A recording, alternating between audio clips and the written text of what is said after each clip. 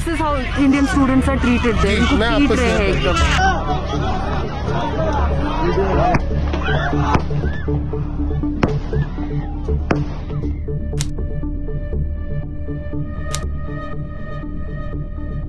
मेरी हाथ जोड़ के रिक्वेस्ट है प्रधानमंत्री साहब से कि बच्चों का इवेक्यूशन प्रोसेस को बहुत फास्ट करें और जल्दी से जल्दी बच्चों को हमारे देश में वापस ले आए। इतना ही कहना चाहते हैं। बच्चे बहुत परेशान हैं। We are the same university. Me, Venkat, and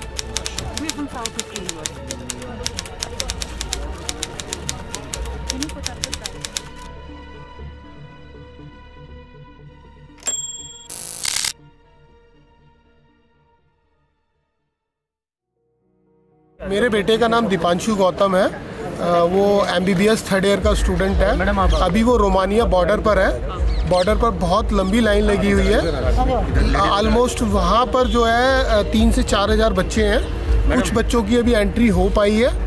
बच्चे रोमानिया बॉर्डर पर जितने भी बॉर्डर है मैं रोमानिया के लिए नहीं कहूँगा और दूसरे बॉर्डर के लिए भी बच्चे कम से कम आठ से दस किलोमीटर पैदल रन करके वहाँ पहुँचे हैं। वहाँ जाकर बच्चों को लाइन में लगना पड़ रहा है। लाइन बहुत लंबी है तीन से चार किलोमीटर की लंबी लाइन है। वहाँ पर जो पेपर वेरिफिकेशन के लिए ऑफिसर्स हैं उनकी संख्या बहुत कम है दो से तीन लोग हैं।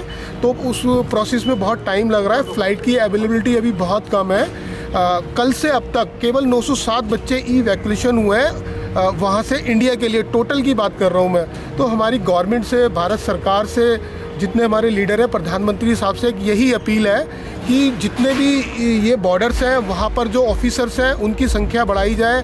जो दो लोग काम कर रहे हैं वह दस लोगों को किया जाए जिससे कि जिससे कि काम जल्दी हो सके और फ्लाइटों की संख्या बढ़ाई जाए। मेरा नाम बी एम सिंह है। मैं वाराणसी से रहने वाला हूँ। मेरी बेटी Ivano Frankivsk national medical university में थर्ड ईयर की छात्रा है। मेरे बच्चे वहाँ कल दोपहर में आ गए थे रोमानिया बॉर्डर तब से लेकर के अभी तक वो लोग वहाँ पे हैं। एक बेटी आपकी है जो बॉर्डर क्रॉस कर गई थी लगभग तीन चार घंटे पहले। बाकी और बच्चे बता रहे थे, इतना ज़्यादा क्रैश वहाँ लाठी चार्ज हो गया फायरिंग भी हो गई। लोग वापस बैक हो करके वहीं पर बैठ करके अपना टाइम वो कर रहे हैं। मेरे बच्चे की लास्ट बात हुई थी लगभग दो दो बजे के आसपास। वो रोमानिया बॉर्डर पर थी। तभी से बात हुई अभी तक बात नहीं हो पाई My name is Sobia. Uh, my brother is in Ukraine, um, and he was he's been stuck there at the border, Poland border. He's from city? Yeah. Lviv University. So he was in Lviv, and uh, yesterday they were being informed by the embassy people to uh, get to the Poland border using their own means. So he had to travel 85 kilometers, and the cab driver, because of the uh, jam and all, he left them 40 kilometers before. So for 40 kilometers, he had to travel on his own feet. And when he reached there, he had to like wait for 48 hours without food, without shelter, at a sub minus 10 degree uh, centigrades. And uh, there was absolutely no one to help them or communicate. They tried communicating the embassy people, the numbers that were circulated, but uh, they were not uh, at all being picked up. So what happened in the morning? He had to spend the entire night there without any shelter and all. And what happened in the morning is uh, like there was a lathi charge. So they were told yesterday that 30 ka group they will form a 30 group and then they will allow. Uh, they were not allowing Indian students. Uh, like other officials were being allowed, but the Ukrainians were not allowing the Indians to go. Uh, I think because like uh, India has not voted in favor of uh, Ukraine, they are showing that aggression to the students now on the borders. So they were not allowing uh, Indian students at all to go. Actually Friday को गए थे embassy से बात करके Poland Poland border की तरफ़ गए हैं। पर रास्ते में बहुत लंबा जाम की वजह से वो रिटर्न आ गए थे हॉस्टल में। कौन सी सिटी में? लविव लविव लवेव सिटी में। यूनिवर्सिटी हाँ। सिटी में तो फ्राइडे की नाइट नाइट को वापस आ गए थे हॉस्टल में वो। फिर दोबारा वो फिर फिर वहाँ गए बस करके। एम्बेसी से बात करके फिर सैटरडे मॉर्निंग में वो फिर दोबारा गए हैं जो बॉर्डर पे अ, उसके पोलैंड वाले बॉर्डर पे। तो पूरी रात भर वहाँ पे खड़े होने के बाद में वो अभी मतलब तीस घंटे वहाँ पे खड़े रहे। सैटरडे नाइट से और अभी तक।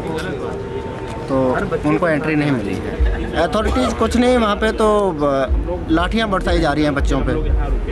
अभी तक तो बॉर्डर बंद था अब शायद हो सकता है ओपन कर दिया हो कुछ नहीं पता। आपकी लास्ट बात कब हुई थी आपकी मॉर्निंग में हुई थी ग्यारह बारह बजे क्या? उसके बाद तो उसका नेटवर्क ही काम नहीं कर रहा। खाने की व्यवस्था है न पानी की व्यवस्था है न बाथरूम की व्यवस्था है वहाँ कुछ नहीं है। बच्चे रात भर ऐसे ही सड़क पे आसमान के नीचे वो थे बल्कि वहाँ पे हल्की फुल्की फवारे भी पड़ रही हैं। एम की तरफ़ से तो बताया जा रहा है कि घबराइए मत क्रॉस कराया जाएगा ये किया जाएगा पास करवाया जाएगा लेकिन इतना क्रश है मैम कि बच्चे एकदम मूव गए हैं, बच्चे परेशान हो गए हैं। बात जो हुई थी तो तो बच्चों का तो मन एकदम काफ़ी गिरा हुआ है। लास्ट बात अभी दो घंटे पहले हुई थी, रोमानिया बॉर्डर पर जब वो कार से कार ने ड्रॉप किया था, पर्सनल कार लेकर वहाँ पहुँचाए पाँच बच्चे थे तो वहाँ उनको बॉर्डर से दस किलोमीटर पहले उतार दिया गया।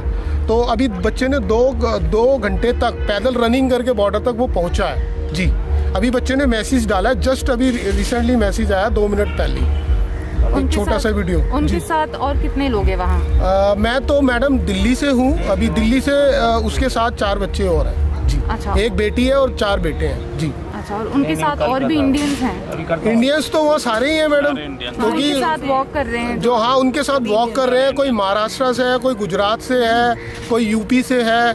जी कोई हरियाणा से है बच्चे तो वो सारे ही इंडियन है। वहाँ पे जो वहाँ के अफसर्स लोग हैं कलर उन लोगों के पकड़ लिए ठेल दिया गया उन लोगों को उन लोग यहाँ तक कि हवाई फायरिंग भी किया गया। इसी को लेकर के बच्चे परेशान हैं। के जो टीवी से जो भी हमें जो रिपोर्ट्स मिल रही थी प्लस जो भी इनके जो कंटेक्ट है उससे मोस्टली ये पता चला है कि जो इंडियन गवर्नमेंट की जो ये है उसमें जो है ना कि जो नंबर ऑफ़ जो अथॉरिटीज़ है जो कि क्लियरेंस के लिए काम कर रहे हैं वो बहुत स्लो है। प्लस वहाँ पर रश इतना है कि जो है, जो जो बाकी तरह से जो है ना इवन जो यूक्रेनियन गवर्नमेंट्स के जो फोर्सेज हैं, वो भी जो है ना, काफ़ी बच्चों को मतलब कि पुश कर रहे हैं कि इवन कई लोगों का कॉलर्स भी पकड़े इवन स्लैपिंग भी किया गया है। हमारी जो रिक्वेस्ट है स्पेशली इंडियन गवर्नमेंट से जो भी जो कंसर्न पर्सन है, थोड़ा सा स्पीड अप करें प्रोसेस को ताकि जो है बच्चे जो है पैनिक में ना हो। एटलीस्ट जो है रोमानियन गवर्नमेंट से जो भी जो सराउंडिंग जो बॉर्डर के जो गवर्नमेंट्स है, उनसे बात करके जो है प्रोसेस को थोड़ा सा स्पीडिफाई करें। तो what are these embassy people doing you know they asking people to come back to Poland they don't have any negotiations with Poland they just misleading students and not taking any responsibility at all. And now again, very conveniently, they're like, huh, we think it's better to go back to your hostel. 85 kilometers imagine this is insane. And uh, now we don't have any contact uh, because his phone was drained of uh, like battery and we, we don't know where he is right now. Who takes responsibility? Now ukraine is also turning violent. What if he gets shot by the ukraine army? How do we know what is happening? There's absolutely no charge taken. We want them at least to be responsible. I called the mei I. Called the Prime Minister uh, number. They're not picking up, and when they are, they're like giving me the number of two people. Pankaj Garg and this other person called Chachu, they are already on the Poland and they are already themselves in Poland. They are helpless. They are like, we don't have any other mechanisms and they are not even government officials. They are uh, civil people who have taken charge to help people. There is absolutely no help from the Indian government and we are totally disheartened and uh, aghast at what's happening.